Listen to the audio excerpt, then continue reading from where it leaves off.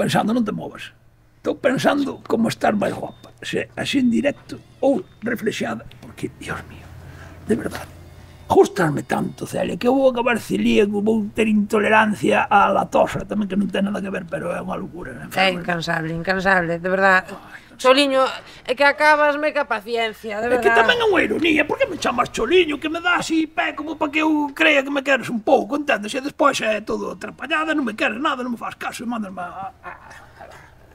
Mira unha cousa. Que? Non podemos falar en serio un día, polo menos Un ratiño. Eu sempre falo en serio, penso que son o farruco dos chistes. Teño, teño a barba, pero non teño a gracia. Non, farruco, quedache moito ti para ser farruco. Eso tamén é certo. Mira, o que quero dicir é que eu, cada vez que che falo, ti non hai maneira. Nunca, nunca me tomas nada ao pé da letra. Nunca. Pero o mellor é xa porque o que me dir non me interesa tomar ao pé da letra. Por exemplo, se ti me dixeras, cholo, porque non vamos ti máis eu a pasar a tarde na praia nudista da Illa de Ons?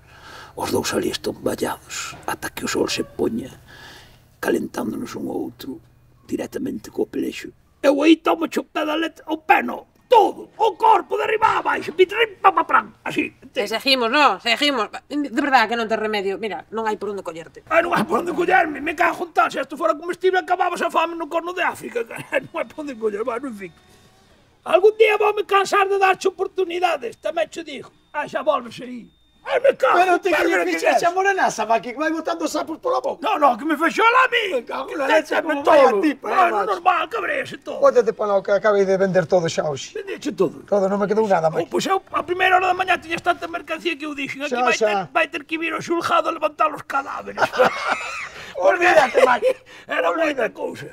Oiche, pois a morenaza, tío, cabréxeme todo, porque eu andolle, andolle no lombo, pero non fai caso. Andas as beiras? Ah, claro, as beiras ou dame igual calquera outro do bloco. Pero xa levas tempo? Levo tempo, levo desde que empecé aquí. É como non falache comigo, Mike, que lle podíamos facer como lle facemos as sardiñas lle vas facer mudar. Sí, Vamos a ver, sí. hai quen lle chama parrocha, pero tratar as túas sardiñas. Sí, pero mellor sardiñas, Maki. Bueno, Faime eh. caso, tío.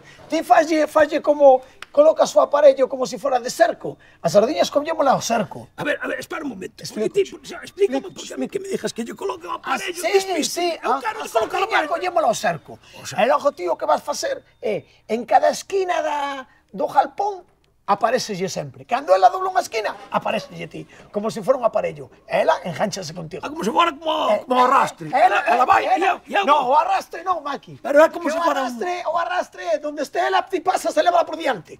O arrastre nunca escarallas todo o almacén. Xa. Ten que ser así, como che dixo, o cerco. O sea, ela vai, ti vas pai. Eu, eh, no, no, Echa no, no, ti xa apareces antes que ela. Ah, ela dobla, ela dobla o pasillo do, do almacén e listas ti de pé, esperando. Usted, eso non necesita... E, eh, máis tarde, que máis tarde, máis tarde dobla a outra esquina. Estás tilido outra vez.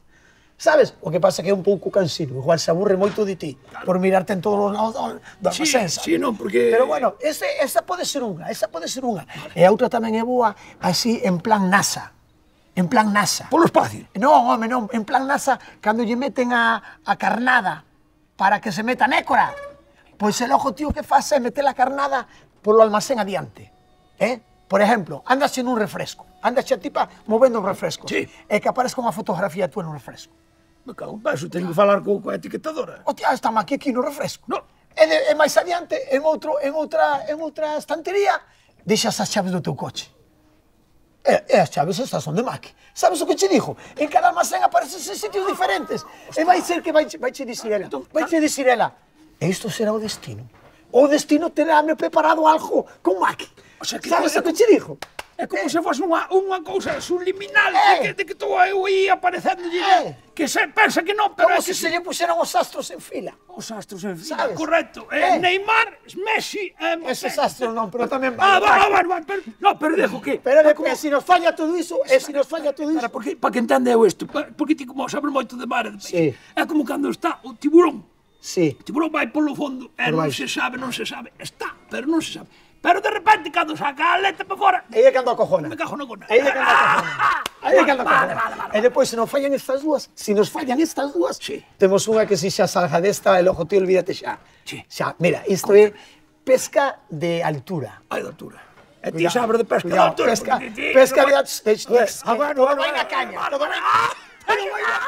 Sábelas calle. É logo tiene un minas eses na pesca deportiva que se sentan atrás do yate. Ai, como, eh, eh, sí, como eh, facía eh, mérito. Eh, sí. Ese, ese, ese. Bo, cando me pica. Cando pica, pero espera, cando vale, pica. Sí.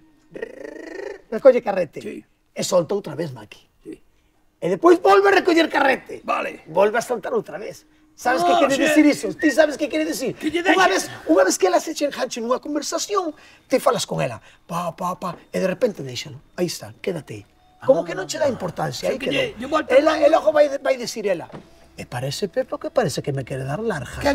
¡No! Me cago na hostia de Maki outra vez. Que parece que me quere dar larga. Entonces, coños, entonces, coños, máis tarde outra vez, conversación, e bla, bla, bla, bla, bla, bla, bla, bla, bla, bla, bla, bla, e de pronto, deixala coa palabra na boca. O sea, tratala ben e tratala mal. I, Tratala ben e i.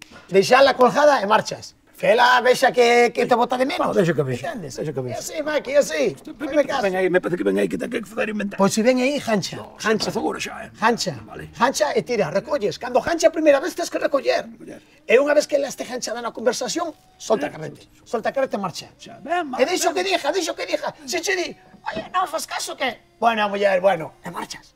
Ves outra vez, vale. volve a picar, volves a ganchar carrete. Vale, perfecto. Faz así, perfecto. tens que facer así. Moi ben. Bueno. Bueno. Vou a meter as últimas pesas no hielo, que xa quedan para mañán, Maki. Vale.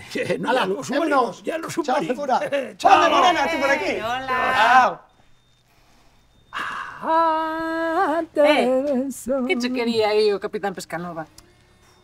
Capitán Pescanova, eu creo que mete drogas. Chamoume Pepo. Me dixas. É eso, porque a mí me levantouse atravesado. Vamos a ver, en serio. Ai, agora sí? sí. Ai, bueno, moi ben. A muller da miña vida e acabouse. Ai, mi madriña, pero ti pensa un pouco antes de falar. Mira o que me dis. Que tampouco penses que me vou arrastrar por ti, eh? Isto quede claro. Mi madriña. Mira, postos a non pensar, casi prefería o de antes, eh? Vou te dicir unha cousa. Eh. Di. Eu, se me fixeras caso, eu... Non me asustando un pouco con esas caras, eh? A ver, é que estou pensando que, sí. que, que eu daba un dedo meu porque me fixeras caso. Ah, madriña, espérate que che deu hoxe. Eh?